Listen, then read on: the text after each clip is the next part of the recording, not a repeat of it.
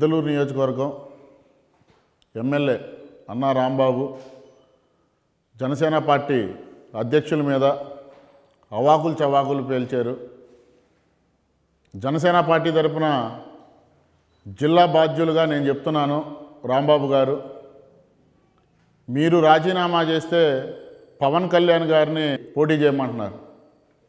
మీ స్థాయికి పవన్ కళ్యాణ్ గారు అవసరం లేదు. ఏదైతే మీ బెదిరింపులకి ఆత్మహత్యకి పాల్పడ్డాడో మా జనసేన కార్యకర్త వెంగయ్య నాయుడు గారి భార్యని నిలబెట్టి మీ మీద గెలిపించి తీరుతామని మేము సవాల్ విసురుతున్నాం. మా సవాల్కి మీరు సిద్ధమా? ముందు మీరు రాజీనామా చేసి మీ చిత్తశుద్ధిగా తెలియజేయండి ప్రజలకి. ఎందుకంటే గిద్దలూరు నియోజకవర్గంలో మీరు రాజీనామా చేసిన వెంటనే మీకు టికెట్టు కూడా వైసీపీ పార్టీ ఇవ్వటానికి ఈరోజు సిద్ధంగా లేదు. మీ చరిత్ర చూసుకుంటే రెండు వేల తొమ్మిదిలో మీరు ప్రజారాజ్యం పార్టీ నుంచి పోటీ చేశారు. తదనంతరం మీరు కాంగ్రెస్ పార్టీలో విలీనమైన తర్వాత అప్పటి ముఖ్యమంత్రి రోసయ్య గారిని మీరు భజన చేస్తూ బతికారు. అలాగే దాని తర్వాత కిరణ్ కుమార్ రెడ్డి గారిని భజన చేస్తూ బతికారు. అదే రెండు వేల పద్నాలుగుకి వచ్చేటానికి టీడీపీ పార్టీలో చేరి చంద్రబాబు నాయుడికి భజన చేస్తూ వైఎస్ జగన్మోహన్ రెడ్డిని ఎట్టి పరిస్థితుల్లో నమ్మొద్దని చెప్పి గిద్దలూరు నియోజకవర్గంలో మీరు ధర్నా చేసిన రోజులు మర్చిపోయారా? మరలా రెండు వేల పంతొమ్మిదిలో వైఎస్ జగన్మోహన్ రెడ్డి స్థాపించినటువంటి వైఎస్ఆర్సీపీ పార్టీలో చేరి ఈరోజు మా నాయకుడు మా నాయకుడు అని చెప్తున్నారు. రేపు రాబోయే ఎన్నికల్లో రెండు వేల ఇరవై నాలుగు ఎన్నికల్లో మీకు మీరు ఏ పార్టీలో ఉంటారో మీకే తెలియదు. ఎందుకంటే ప్రతి ఐదేళ్ళకు ఒకసారి మీరు పార్టీ మారుతున్నటువంటి చరిత్ర. మీకు దమ్ముంటే మీరు రాజీనామా చేయండి. మా వెంగయ్య నాయుడు గారి భార్య మీద మీరు గెలవండి. మీ అవినీతి గిద్దలూరులో మీరు చెప్పారు మేము ఆస్తులు అమ్ముకొని ప్రజాసేవ చేస్తున్నానని చెప్పి నిన్న మీరు పత్రికాముఖంగా మీరు తెలియజేశారు. మేము చెప్తున్నాం మీరు ఆస్తులు అమ్ముకొని కాదయ్యా మీరు గతంలో ఇచ్చినటువంటి ఇంటర్వ్యూలో కూడా వ్యాపారాలు చేసుకోవడానికే నేను రాజకీయాల్లోకి వచ్చానని చెప్పారు. మీ చరిత్ర మొత్తం మేము మా దగ్గర రికార్డ్స్ కూడా ఉన్నాయి. ఈ రికార్డ్స్ కూడా మేము బయట పెడుతున్నాం. ఎందుకంటే మీరు రెండు వేల తొమ్మిదిలో ఎన్నికల్లో పోటీ చేసినప్పుడు మీ ఆస్తి విలువ కోటి రూపాయలు మీ అప్పుల విలువ రెండు కోట్లు. రెండు వేల పద్నాలుగుకి వచ్చే లోపల మీ ఆస్తుల విలువ ఇరవై ఏడు కోట్లకు పెరిగింది. మరలా రెండు వేల పంతొమ్మిది ఎన్నికలకు వచ్చే లోపల నలభై రెండు కోట్లకు పెరిగింది. ఎలా పెరిగినాయి? మీరు ఏ ఆస్తులు అమ్ముకున్నారు? ఈ అన్ని గిద్దలూరు ప్రజలకి మీరు చెప్పాల్సిన అవసరం ఉంది.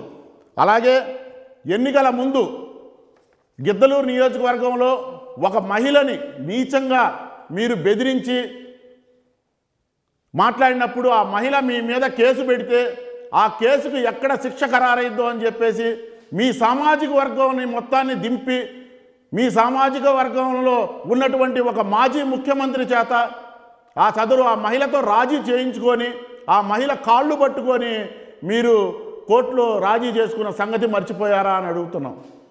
మీరు అన్నారు మీరు మీరు మాట్లాడే భాష సాంప్రదాయమైన భాష అంటున్నారు. మాకు తెలిసి ప్రకాశం జిల్లా పరువు కానీ అలాగే గిద్దలూరు నియోజకవర్గం పరువు కానీ తీయొద్దని మేము కోరుకుంటున్నాం. మేము అడుగుతున్నాం మీకు నిజంగా దమ్ముంటే రేపు మీరు రాజీనామా చేసి ఎన్నికల్లో మీరు ఓటర్ని ఇదే విధంగా మీరు అడగగలరా? నిజంగా మీకు దమ్ముందా? ఈ విధంగా అడిగే దమ్ము. దయచేసి మీరు మాట్లాడే భాషని సాంప్రదాయ భాష అని చెప్పి మీరు చెప్పుకోవటం ఆపండి ముందు. ఎందుకంటే గిద్దలూరు ప్రజలందరూ మిమ్మల్ని చూస్తున్నారు.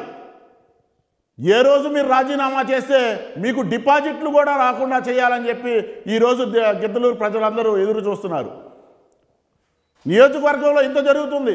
మీకు ప్రకాశం జిల్లా నుంచి ఒక్క ఎమ్మెల్యే కానీ ఒక్క మంత్రి కానీ ఈ మీ మీకు అనుకూలంగా మాట్లాడినటువంటి దాఖలు లేవు. మరి మీరు ఎందుకు దీని నుంచి మీరు పవన్ కళ్యాణ్ గారి మీద అవాకులు చవాకులు పేలుస్తున్నారు? జనసేన పార్టీ కుటుంబాన్ని మీరు రోడ్డున పడేశారు. పవన్ కళ్యాణ్ గారి మీద మీరు నిన్న మాట్లాడుతూ యువతని చెడగొట్టారంటున్నారు. ఎక్కడ చెడగొట్టారా యువతని?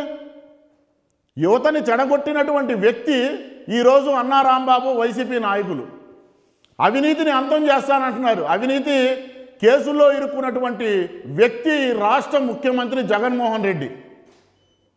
అలాంటి పార్టీలో ఉన్న మీరా మాట్లాడేది. వ్యాపారాలు చేసుకొని ఆస్తులు సంపాదించుకోవాలని చెప్పి భూ కబ్జాలు చేసినటువంటి వ్యక్తులు మీరు. ఎటువంటి స్వార్థం లేకుండా ప్రజాసేవ చేయడానికి వచ్చినటువంటి వ్యక్తి పవన్ కళ్యాణ్ గారు. రాంబాబు గారు గుర్తించుకోండి మీకు ఇదే చివరిసారిగా చెప్తున్నాం. పవన్ కళ్యాణ్ గారి మీద అవాకులు చవాకులు కనుక పేలిస్తే రాబోయే రోజుల్లో ప్రజా తీర్పుతో మీకు సమాధానం చెప్పబోతున్నాం. అలాగే మీరు రెండు వేల తొమ్మిదిలో మీ ఆస్తి కోటి రూపాయలు చూపించిన తర్వాత మీరు మెగా కుటుంబ సభ్యులతో మద్దతుగా మీరు ప్రజారాజ్యం పార్టీలో పోటీ చేసినప్పుడు మీరు అక్కడ గెలవలేని స్థితిలో ఉన్నప్పుడు పవన్ కళ్యాణ్ గారు వచ్చి మీ తరపున క్యాంపెయిన్ చేసి మిమ్మల్ని గెలిపించింది మర్చిపోయారా అని మేము అడుగుతున్నాం. మరలా రెండు వేల పద్నాలుగులో అప్పటి టీడీపీ పార్టీతో జనసేన పార్టీ పొత్తున్నప్పుడు మీరు రెండు వేల పద్నాలుగు టీడీపీలో నిలబడ్డప్పుడు నేను ఓడిపోతాను. పవన్ కళ్యాణ్ గారు వచ్చి నాకు ప్రచారం చేయాలని అడిగిన మాట మీరు మర్చిపోయారా అని మేము అడుగుతున్నాం.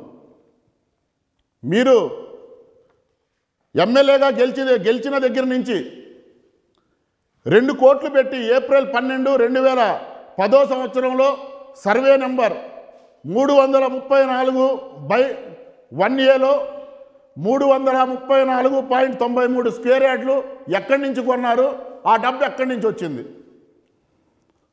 అలాగే మరో రెండు కోట్లు పెట్టి ఇంకో సంవత్సరం మే ఇరవై ఆరో తేదీన రెండు వేల పదకొండులో సర్వే నెంబర్ మూడు వందల నలభై మూడులో టోటల్ ఏరియా పదహారు వందల ఒక్క తొంభై ఒకటి స్క్వేర్ యార్డ్స్ మీరు ఎలా కొనుగోలు చేశారు? Markapur door number eight dash one dash one. ఎదురుగా సర్వే నెంబర్ నూట డెబ్బై రెండు బై రెండులో కోటి రూపాయల పైన పెట్టి ఎనిమిది వందల నలభై స్క్వేర్ యార్డ్స్ మీరు ఎలా కొనగలిగారని చెప్పేసి మేము అడుగుతున్నాం. నిజంగా మీకు చిత్తశుద్ధి ఉంటే ఇటీవల తమిళనాడు సరిహద్దుల్లో మీ కారు స్టిక్కర్తో మీ సామాజిక వర్గానికి చెందినటువంటి దొంగ బంగారం కేసులో ఉన్నటువంటి డబ్బులు పట్టుబడితే మీరు పోలీస్ విచారణకి ఆదేశించామని చెప్పారు. అసలు మీకు తెలియకుండానే మీ స్టిక్కర్ అక్కడికి ఎలా వెళ్ళింది? ఈరోజు మేము అడుగుతున్నాం. దాని నుంచి మీరు ఎందుకు పోలీసుల దగ్గరికి వెళ్ళి ఆ కేసుని తారుమారు చేశారని మేము అడుగుతున్నాం. మీకు చిత్తశుద్ధి ఉంటే ఆ ఆ స్టిక్కర్ ఎక్కడి నుంచి వచ్చింది? ఏంటి? మీరు విచారణకి ఆదేశించమని మీరు అడుగుతారా? మీకు అంత దమ్ము మీకుందా అని చెప్పేసి జనసేన పార్టీ నుంచి మేము అడుగుతున్నాం. మీరు ఏ ఎండగా గొడుగు పట్టేటటువంటి నాయకులు? ప్రతి ఐదేళ్ళకు ఒకసారి ఎవరో ఒక భజన చేసేటటువంటి నాయకులు. కాబట్టి మేము చెప్తున్నాం దయచేసి మీకు దమ్ముంటే ఇప్పుడు రాజీనామా చేసి రండి. మా వెంగయ్య నాయుడు గారి భార్యని గిద్దలూరు నియోజకవర్గ అభ్యర్థిగా మేము ప్రకటిస్తున్నాం. అలా ఆ భార్య మీద మీరు గెలిచి మీ చిత్తశుద్ధి నిరూపించుకోండి. ప్రజా కోర్టులో మా జనసేన విజయంతో మేము వస్తాం. మీరు గనక ఓడిపోతే నేను వెంగయ్య నాయుడు ఆత్మహత్య చేసుకోవడానికి నేనే కారకుడిని నా అనుచరులే కారకులు అని చెప్పేసి మీరు శిక్ష అనుభవం అనుభవించడానికి సిద్ధంగా ఉండారా అని చెప్పి సవాల్ విసురుతున్నాను. మీ స్థాయిగా పవన్ కళ్యాణ్ గారు కావాల్సింది. మీరు ఓడిపోతారని చెప్పి రెండు సార్లు బతిలాడుకునేటువంటి రోజులు గుర్తు తెచ్చుకోమని అడుగుతున్నాను. సవాలు విసరడానికి కూడా ఒక స్థాయి ఉండిద్దని చెప్పి అన్నారాంబాబు గారికి హెచ్చరిస్తున్నాం.